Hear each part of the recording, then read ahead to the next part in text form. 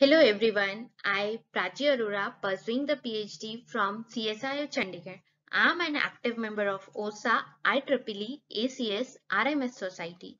The goal of all these society is to inspire the student towards science, promote optical science and interaction between the student by various science outreach programs or various science campaign. So with that motto only, today I come up with a new lecture for elementary schools. In this session, we are going to talk about something that we have seen throughout the course of life, something we are used every day, but understand only little about that.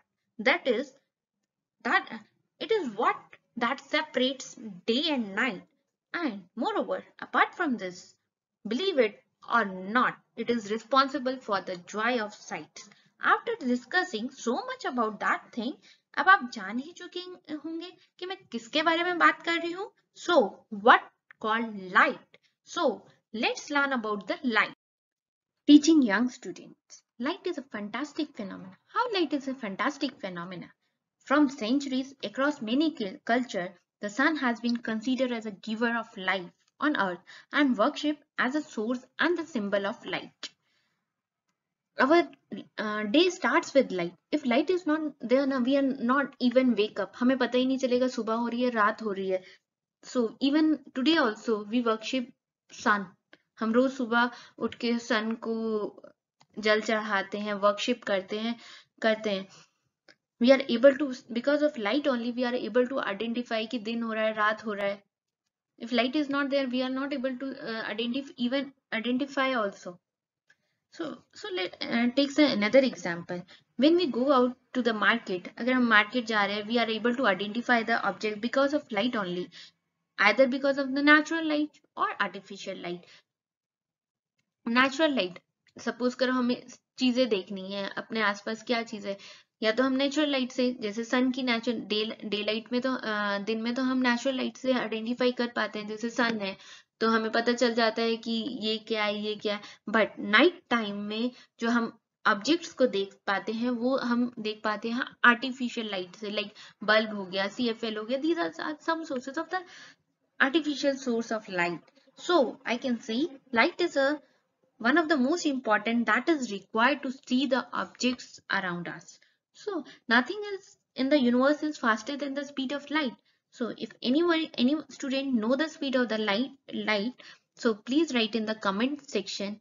So the content of today's lecture is how the light allow us to see and originate from a source. Light travel in a straight line. Light is made up of different colors. How we are able to see uh, only one colors. White light is a made up of different colors how the shadows are created. After listening uh, after seeing uh, this video we will learn some small small topics of uh, some theory point how the shadows is created how the light is travel what is concave lens what is convex lens all uh, light uh, different original uh, uh, sources of uh, light. All this we learn little about the some light concepts. So experimentally we will learn in the slowly slowly we will um, upload the videos of each and experiment which we, which we will discuss today these are the eight experiments which we will do in the upcoming videos like uh, classroom cave, follow the beam, light in color, shadow, light bends, lenses bend light, light bounces, light everywhere. In this all uh, experiment you will observe light is a common thing, common word.